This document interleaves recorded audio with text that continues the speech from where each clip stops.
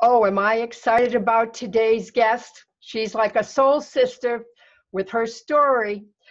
Lisa Smith is a writer, a lawyer in New York City. She's the author of A Girl Walks Out of a Bar, her memoir of high functioning addiction and recovery in the world of New York City corporate law.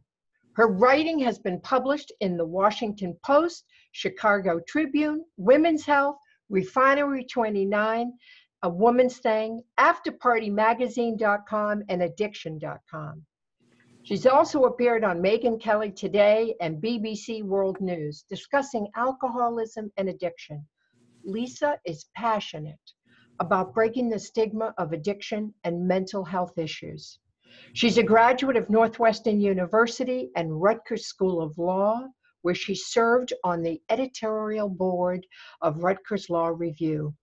She also serves on the board of directors of the Writers' Room in New York City, where she lives with her husband, Craig. Thank you, Lisa. It is so good to be with you here. Thank today. you so much, Mal. I'm thrilled. I'm thrilled to be here with you. Well, you know, I, I thank you for your honesty, for being so raw and vulnerable in this book. I mean, the way you describe your journey, I get it completely. Uh, it is, well, you know what? I forgot to read a passage on our first attempt of recording this show. I want to read this because I think it really gives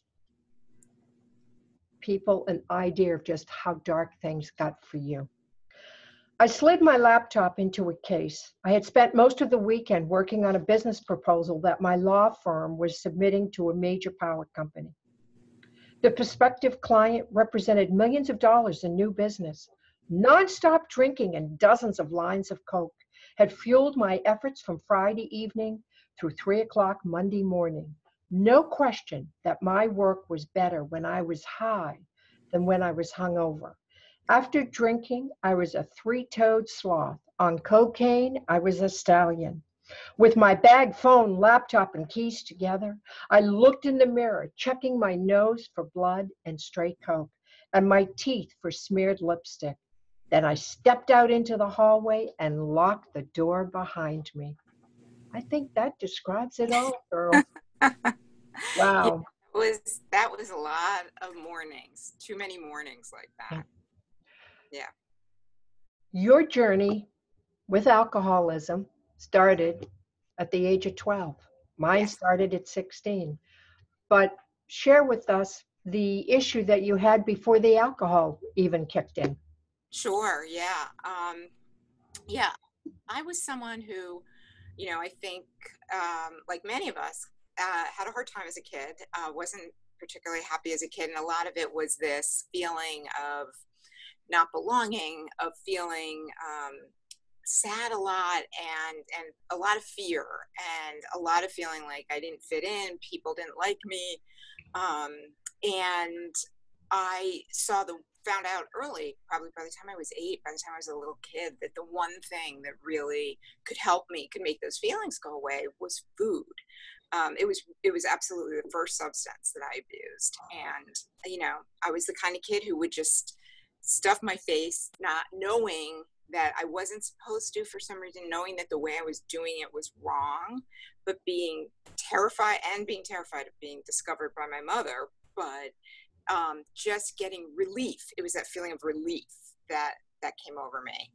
And I had seen growing up, you know, I grew up in a house where my parents had cocktail hour every night. It was a very happy occasion. They had parties things looked like they got better with alcohol. It was mm-hmm. a celebration that made people happy. I never associated negative things with alcohol use. I my my dad was a judge. I never um, saw people getting violent or yelling or fighting or a DUI or anything like that. And I just couldn't wait to grow up and to to check it out. And I did early. I did early. And um, you know, by the time and, and and you know the first time i drank alcohol for all the wonderful things that food could bring me alcohol was that on steroids and you know by the time i was 12 i had found the kids who liked to um, drink on the weekends like to you know raid the parents liquor cabinet and uh, grab what they could and we'd hang out in the woods and smoke cigarettes while we drank I know the feeling of robbing the uh, the liquor cabinet. You know, we'd use Skippy peanut butter jars, but my, my favorite fuel was Colt 45, which was a beer, malt Oh, liquor. Ow. If I drank that fast, I was off and flying. I was great. I was cool. I fit in. Oh, I mean, it just took away all the insecurity and all. yeah, Yeah. yeah. You know, people people often refer to it as liquid courage, mhm. but to me, it felt like it was liquid indifference. Right? It just like all of a sudden, I didn't care what you thought. Where beforehand, all I cared about was what people thought. Uh, you know, me and feeling uncomfortable. I was just fine. It made me indifferent to the things that really um, nagged at me otherwise. So this progression went on all through high school. You get into college, you're a party girl. Mm-hmm. You get into law school, and I. When did the drugs start to kind of piggyback with the alcohol? Yeah. Well, it's funny because the drugs, um, the first time I tried cocaine, I was 15. So that was very much in high school. Mhm. Um, but, you know, cocaine was uh, not something that was readily accessible, except, you know, we had some friends who would bring it around sometimes. And I loved it. I thought it was great. But my first true love was, was alcohol, no question about it. And um, I, you know, it was like that in college. I could, I loved when, you know, we were able to get some Coke and we would, you know, have a great time with it. And, you know, then in law school, some, and then, you know, into, into practicing. And really, what happened, I used to be the kind of person who, like, you could hand me your bag of Coke and say, save this for next Friday night. Like, don't use this all week, save it for next weekend. And I would be able to do that. And then over time, as my drinking escalated and I became less and less able to control it, and certainly in, in a way that would allow me to go to work and function, that's where the cocaine came in. So the really heavy cocaine use came um, re- in the last two years of my drinking and, you know, sort of fully charged the last 18 months where I was strictly using it to um, kind of counteract the effects of the alcohol so that I would seem, if you saw me in the morning, I would be sweating and shaking and green and I would need to drink to get out of bed in the morning. It was just a 24 7 cycle at the end. And once I had enough drinks to calm me down a little bit, I'd recognize that I was getting a little slurry or I was a little drowsy. So then before I would leave for work, I would, you know, be using Coke to counteract that. So what looked like going out the door, what looked like was a normal person. But in fact, it was that was sort of the way to um, to level set for me. That's how I could get, you know, get through my day by doing by doing that. So it was not about the fun. It was it was a very functional kind of thing. People don't understand that we can be very high performing drunks. Oh gosh. You know, I hit it really well, just like you. Um, Yeah. In real estate, uh, my alcoholism really progressed in my 30s, the way yours did. Mhm. I don't know if that's a, a woman thing, but, and I married another alcoholic when I was in my early 30s. And of course, that didn't work. It was, you know, like the War of the Roses, that movie. Perfect. And he drank himself to death. Uh, Oh, no. He died shortly after we were divorced. But I would show up and go to work, and wherever eh, I've always worked for myself since Mm-hmm. I've been in my late 30s. But even before that, I would show up and I would function and be alert and high performing. And people really find that hard to believe. And then I read your story as well. I mean, you are a corporate lawyer and you, you've got everybody hoodwinked. Nobody's really on to you.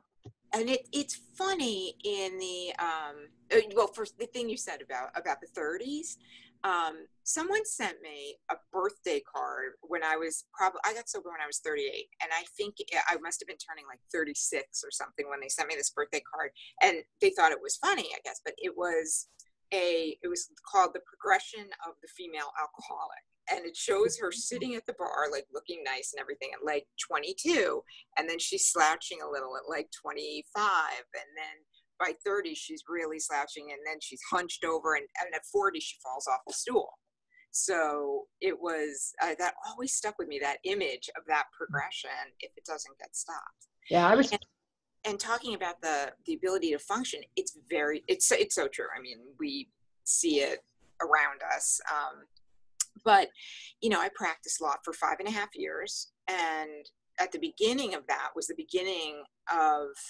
you know my my slide I, I began drinking every night as a first year associate.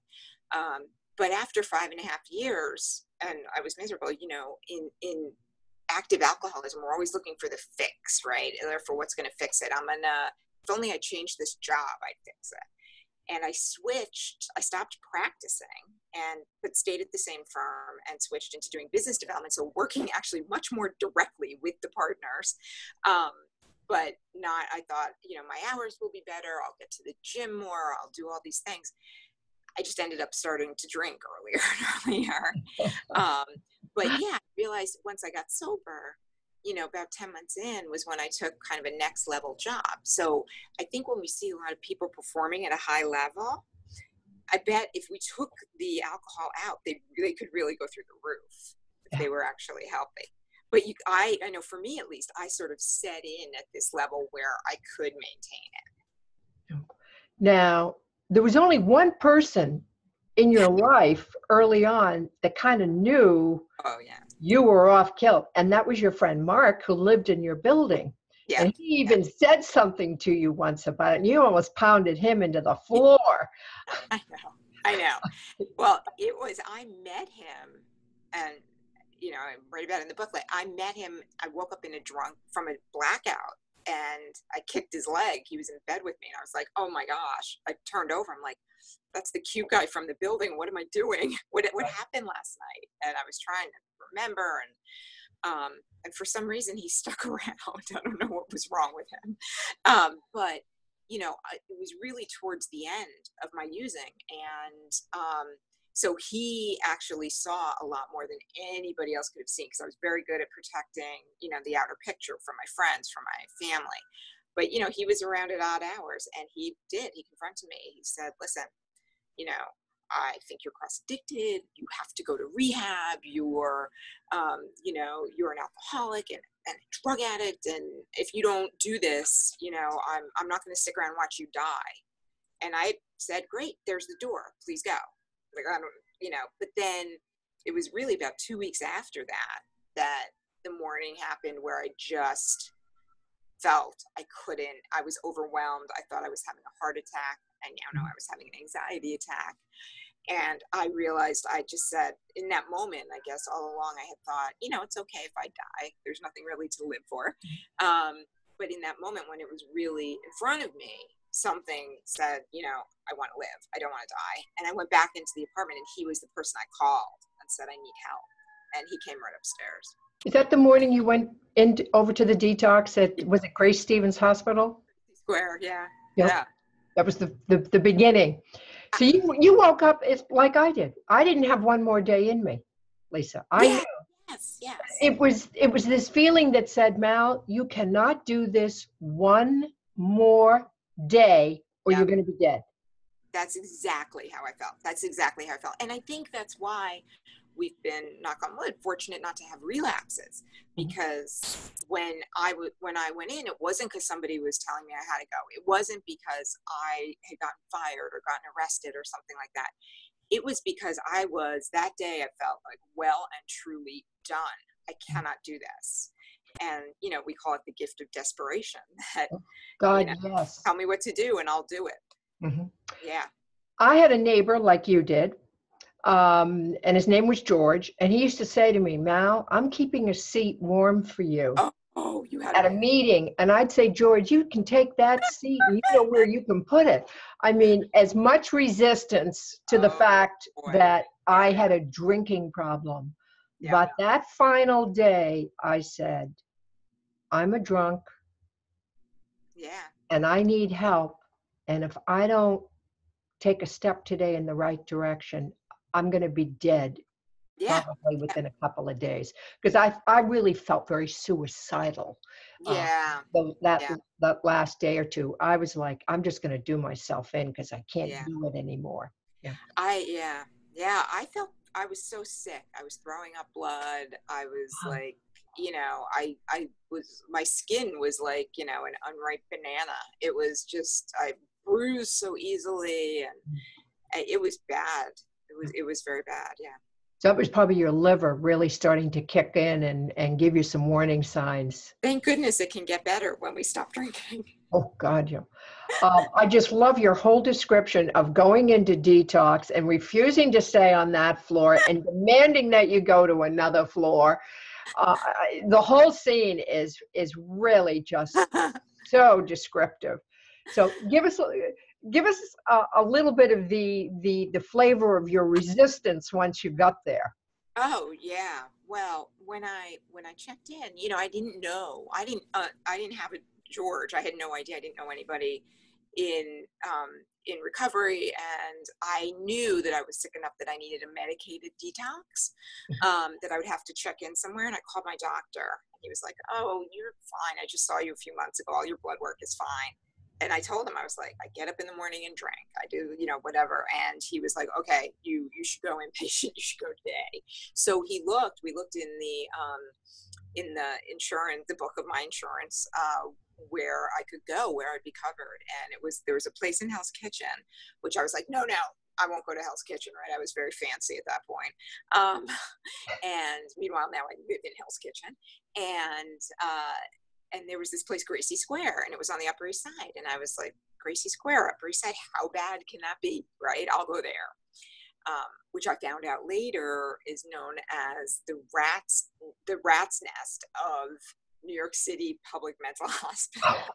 Oh, in, in order to be treated, I had to sign in on a three day psych hold. I had to agree to a 72 hour psych hold before they would take me in, and I did.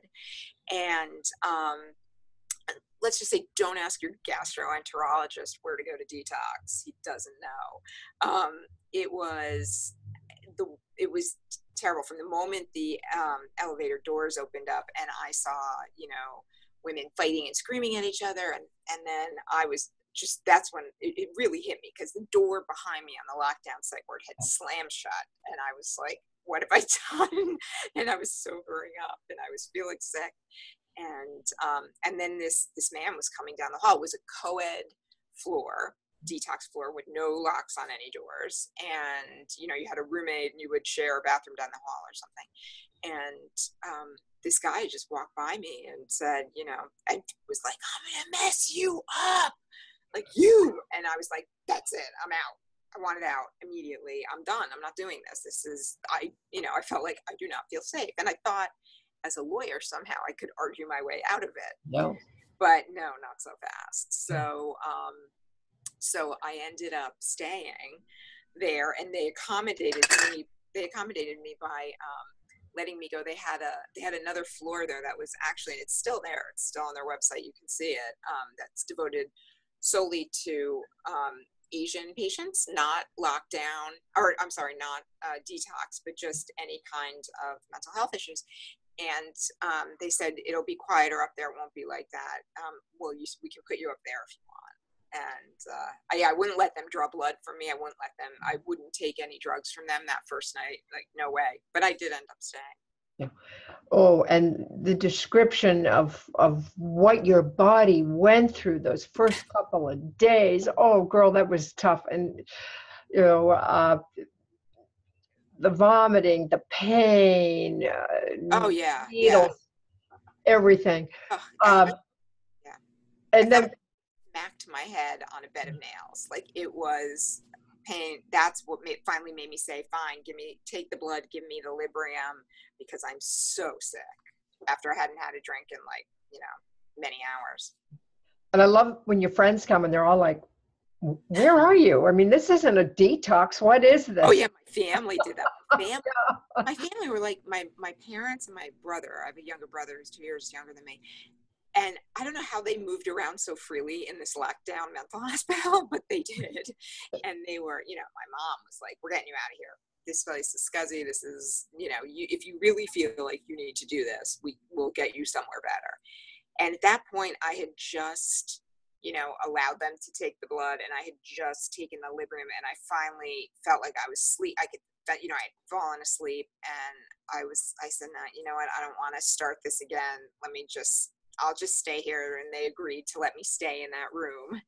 And, um, and yeah, so, but yeah, my friends came to visit and they were like, what is going on? Yeah.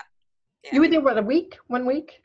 Five days. Five days. And then you get out, but your biggest concern is not your sobriety. Your biggest concern is getting back to your office. Yeah yeah. about how do I explain to, you know, my big important boss where I've been and what's going on. Uh, yeah, the first thing, you know, it was it was interesting when I made the decision that morning that I was going to go and I called my doctor and we decided where to go and I called Gracie Square and they said I could come anytime until 11 o'clock that night. Um, the first thing I did was email my office because it was early. It was, you know, in the morning and I knew nobody would be there yet. And I sent an email and said, listen, I'm really sorry, but I had a medical emergency over the weekend.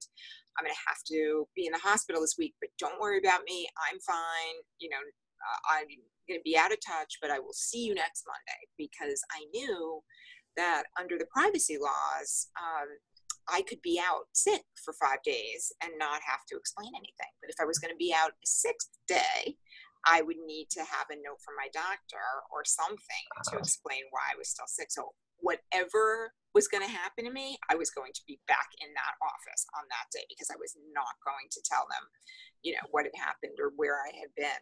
So, How long did it take for you to let them know what your story was? I never did. You never did. I went right back that next week. I do not recommend this. It is not uh, the way to do it at all. And it's part of, it's a huge part of why I feel like it's so important for me to try and speak up about this stuff and try and break the stigma mm-hmm. because I want the next person in that position to go, you know, like on the fourth day, um, a social worker came in to my room and was like, she had these brochures. Here's where you can go for 30 days. Here's where you can go for 28 days. And mm-hmm. I looked at her, I was like, do I have to go somewhere now? And she said, no, no, but it's, you know, it's strongly recommended. And then I was like, nope, not going. Yeah. And we finally settled on a plan where um, I went to outpatient, intensive outpatient rehab two nights a week after work. And I started going to 12 step meetings at that point.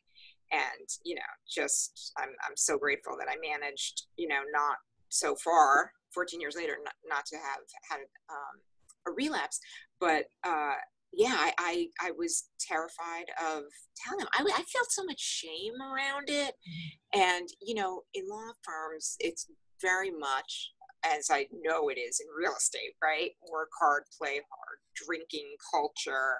Um, and, you know, you can't, uh, you know, they, they prize stamina and strength. And, you know, um, I was terrified that all of a sudden I would go from, you know, on Friday having been seen as this, you know, competent, reliable, smart member of the team to being seen as someone who was, you know, defective or couldn't be trusted or weak. And I, I just wasn't going to let that happen. I had never seen anybody go out on a leave that, you know, if you broke a leg or if you had some sort of, you know, bad diagnosis, people are out on medical leaves all the time. And if you have a baby, you know, you are out in, in my law firm, you're out for six months. Oh. Um, but yeah, but you know, I've never seen somebody say, you know, I'm really, I've got to go address a substance abuse issue, or I've got to go, you know, I, I have depression in my family and I feel like I need to go treat it and I'm not, you know, I, I think we are beginning to see some of that, which mm-hmm. is such a huge step. Um, but uh, not then. I went right back. I love the description the day you went back to your office and you talk about the yellow sticky Oh my god. Everywhere because your your your memory had been failing you and this was your only coping mechanism was to have stickies everywhere reminding you what you needed yeah. to do or said or whatever. It was hysterical in the book.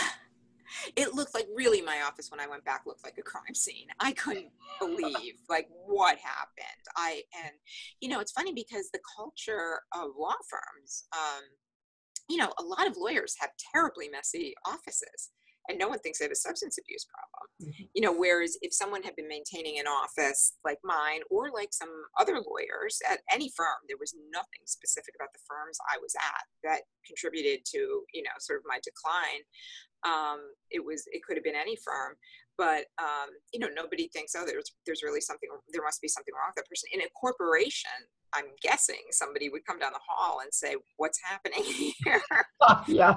Doesn't look right. Wow. yeah.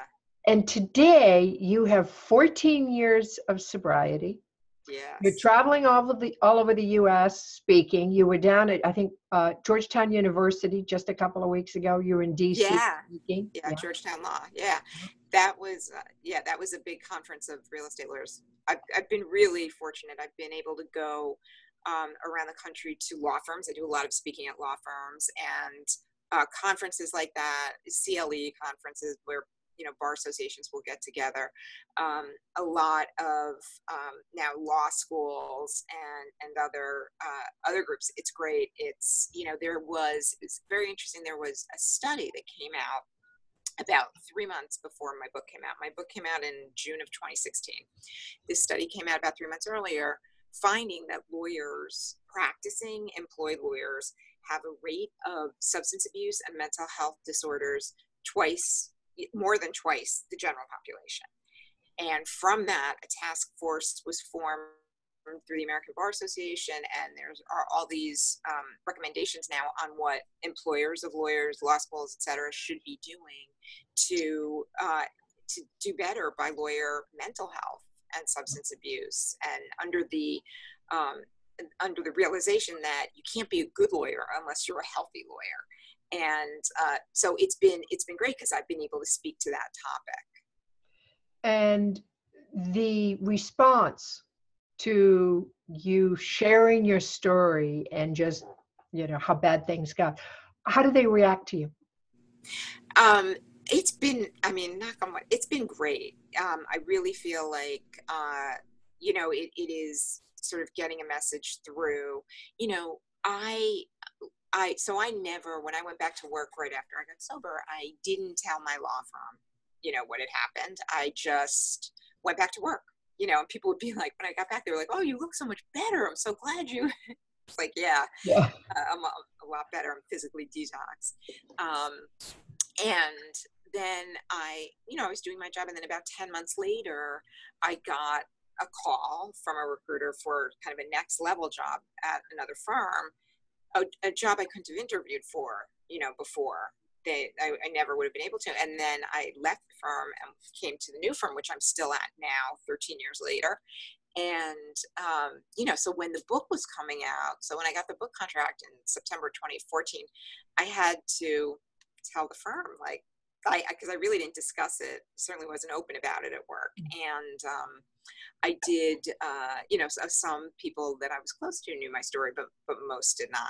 But people didn't know, know that i was writing. See what happened the way the book came about was when i got home from that those five days in the detox um, they were so and the reason you say that they were you know kind of vividly um, expressed is because I, I started writing that as soon as i got out I, I that's when i began i was like what a, this is you know i can't even believe what just happened for some reason i felt like it needed to be memorialized Mm-hmm. and then all of a sudden i was waking up in the mornings not drinking, so excited because I w- hadn't had a drink the day before. Every day was a miracle. It still is.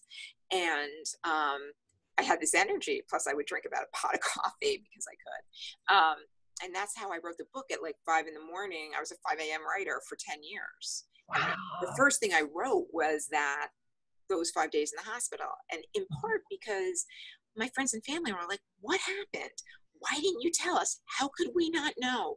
You know, why didn't you ask for? And some people were angry and confused. And I was telling the story over and over. And finally, I could just be like, Here, and hand them a bunch of pages, you know. Um, so it became through that process, I was really writing it to sort of explain things to family and friends. And I realized I was sort of explaining things to myself. And I found the writing really cathartic and really helped me put pieces together, you know, because really what I discovered through the process was that, um, you know, I had been self-medicating, which they had said to me in the in the detox. The, the psychiatrist who had met with me uh, over the course of those five days said, you know, you're a smart woman with a very serious problem, and if you don't stop drinking, you're going to die.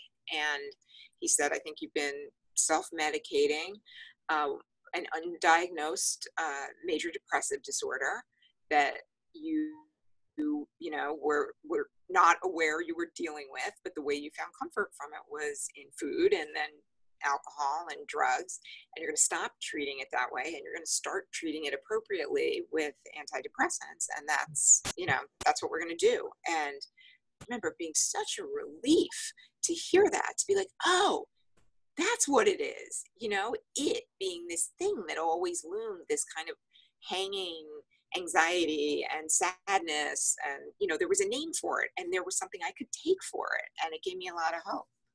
So um, yeah and i think a lot of women who do abuse alcohol including myself battled depression yeah it wasn't really diagnosed and therefore right. wasn't treated until i got sober and then it was yeah. dealt with yeah um, now how are you today as far as depression? Do, do you st- do you still take medication for it? Yeah.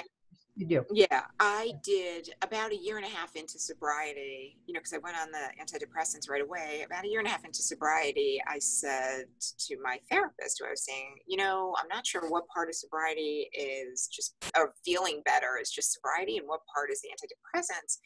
And I'd like to try to go off them just to see if I can um, how I do. And she said, okay, we can do that. We can do that experiment. And I did. I did a very slow, over a period of months, taper down. I was on Lexapro, taper down, and then took my last pill, and I was feeling good, and I felt just fine. And then three weeks later, like the lights went out, out, like just it was like a black screen got pulled over my eyeballs, and I was I couldn't get out of bed. I would manage, it was like, okay, I would, first of all, I would be like, oh, why get out of bed? Why am I here? I hate life. You know, that mm-hmm. sort of feeling. And I'd be like, all right, just put one foot on the ground. And then I would just put the other foot on the ground. All right, let's go brush teeth. And I would be like lumbering. Like the first symptom for me of a depression relapse is this exhaustion. Mm-hmm. And, you know, I, I, tried to see if it would get better. And um, my sponsor in recovery was like, this is life on life's terms. You know, you're just feeling your feelings and all that. And it, I would get into the office, shut the door. I couldn't take any personal phone calls because I would start crying. And just all day, it would just be running down my face for no reason. And I had to go on a work trip to Florida, I remember. And this one morning, I just rolled out of the bed onto the floor and I called my therapist and I said, I have four days before I drink. I don't know why it's four days. I don't know what's going on, but I know that I can feel this way for four more days and then I'm going to drink. And she said, Experiment's over. Get back home. You're going immediately back on it. And I haven't tried to go off again. I still have relapses, depression relapses, because I think my dosage is something that is, you know, works really well for me, but not numbing me out and not you know i feel all my feelings. And you know that opens me up to the mm-hmm. potential of having depression relapses. But now i know what they are. And you know i have tools to work through them. And you know generally they pass after a few days. And if they don't i have to start talking to my doctor and see if i need to adjust something. Hmm. Well lisa i i appreciate your honesty you are putting a new face out there for women in recovery, which is so important. This book was just outstanding. Girl walks out of a bar. I love it.